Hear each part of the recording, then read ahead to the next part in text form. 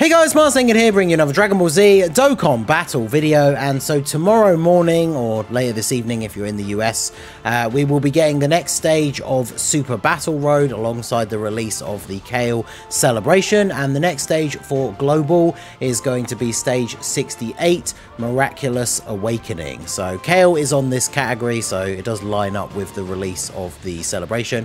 As you can see here there are three fights as there basically always is in category Super Battle Road. The first one is just against a final form Frieza.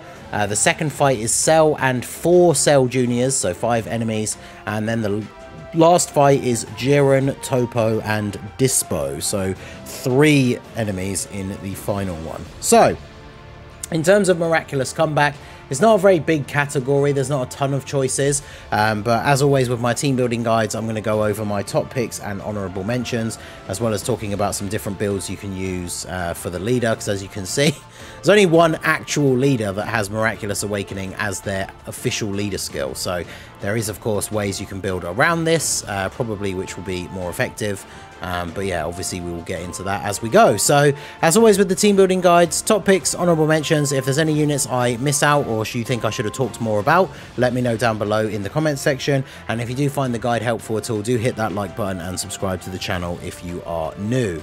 So, starting off, we have Kale. I thought I'd mention her straight away, right? It's her celebration. If you do happen to pull Kale, her leader skill, Universe 6 or Transformation Boost, will cover a lot of the characters that are on this category. And then obviously Universe Survival Saga or Full Power get the extra 30% for the full 200% leader skill.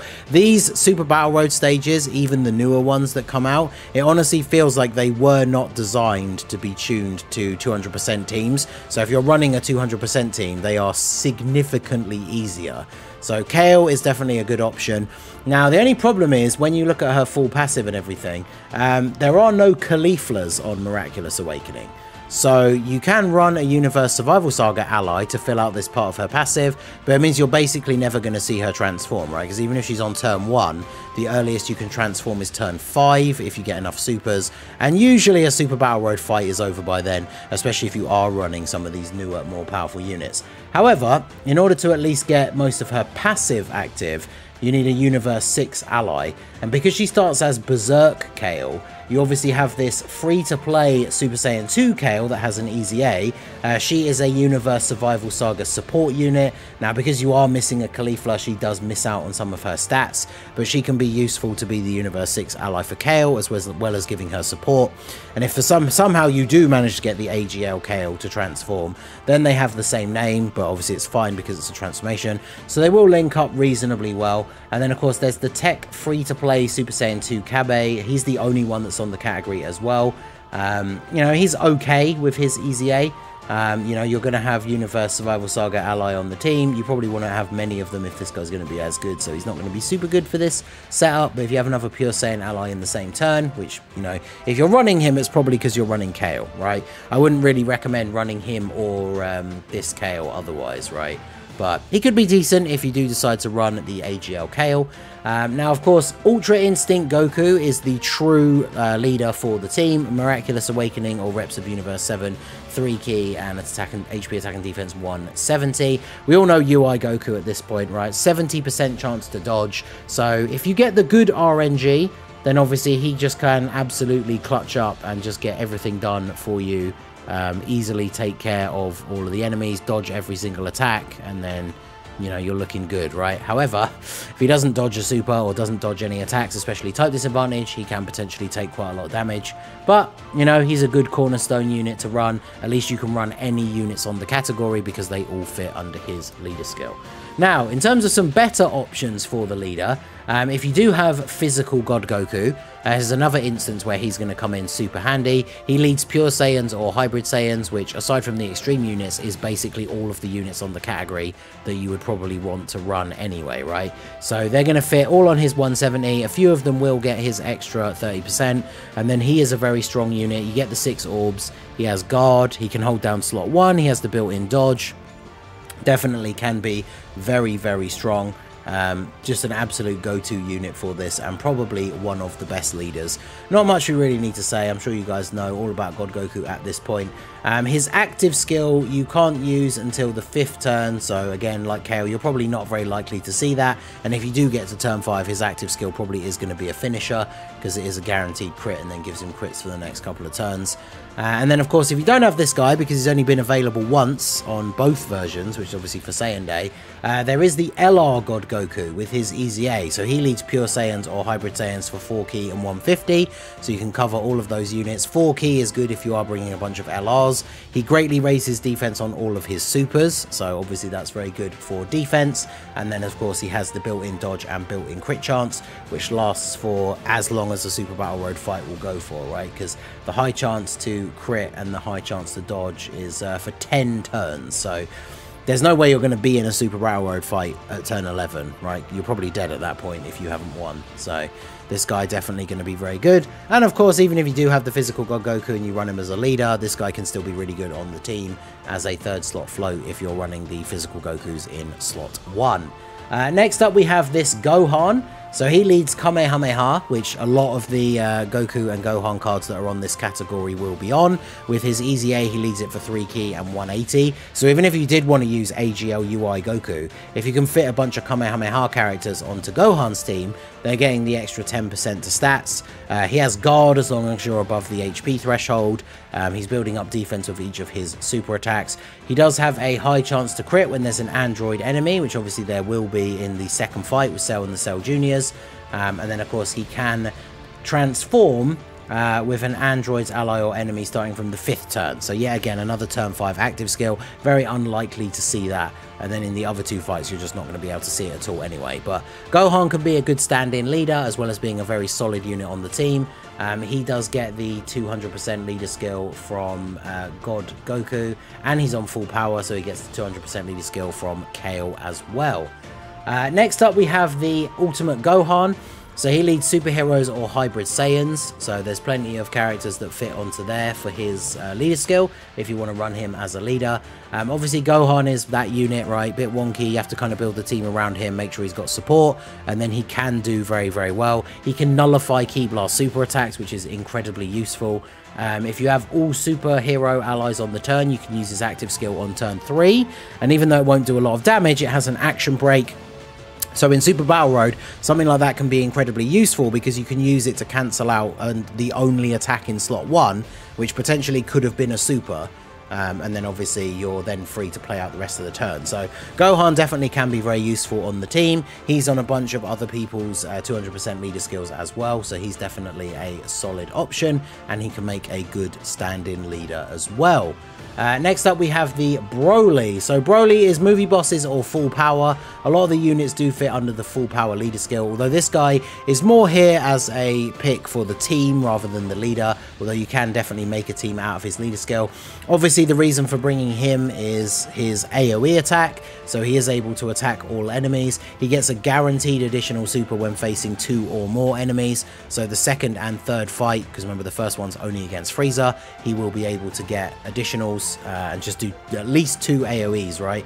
So definitely can be very, very good at clearing out some of the enemies, especially if he's getting crits, then you get the hidden potential and he does like a third super, so definitely able to put in a lot of work. He transforms into full power on turn 4. You can realistically get to turn 4 and that'll be the last turn of the fight pretty much and then full power Broly will be able to clean up um, whoever is left. And remember, with units like Physical God Goku, you can still run one extreme unit on his team and still get the uh, intro buff for God Goku, and this guy does get the 200% leader skill from God Goku as well. So definitely one of the best team builds I think is Physical God Goku as the leader, and then this guy fits nicely on that team as well.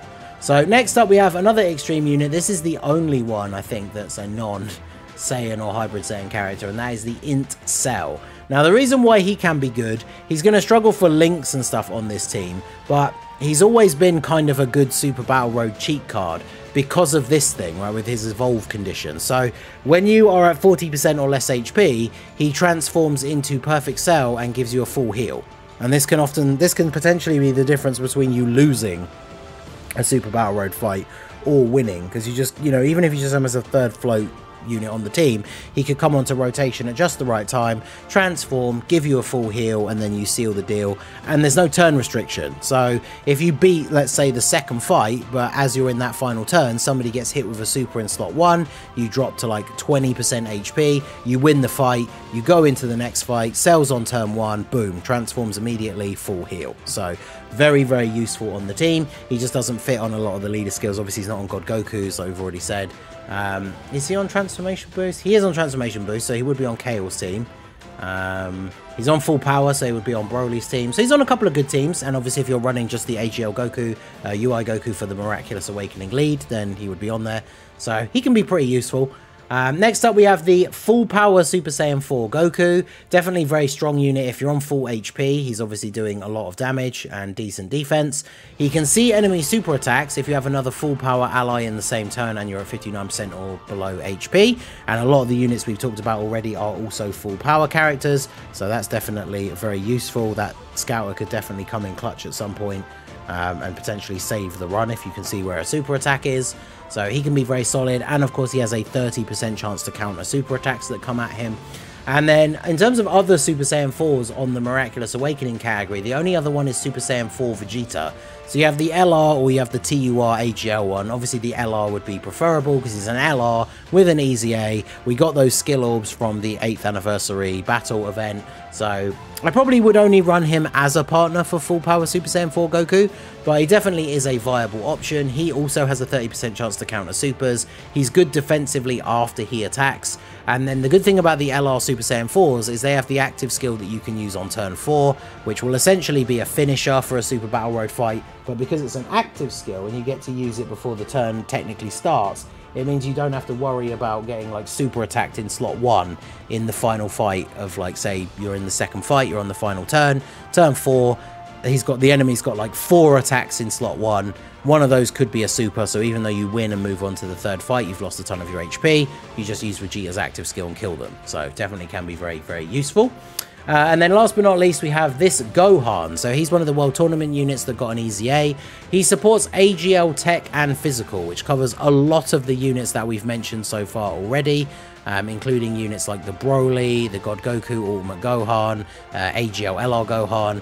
Um, this guy's really, really good. You put him in slot 3, um, he gets a bunch of extra stats and just is a solid unit overall. I would definitely consider running this guy on the team as a support. He's on God Goku's 200% leader skill as well, and he's on full power, so he's on... Um, actually, is he on Transformation Boost? He's not, is he? Because he starts off as Super Saiyan 2.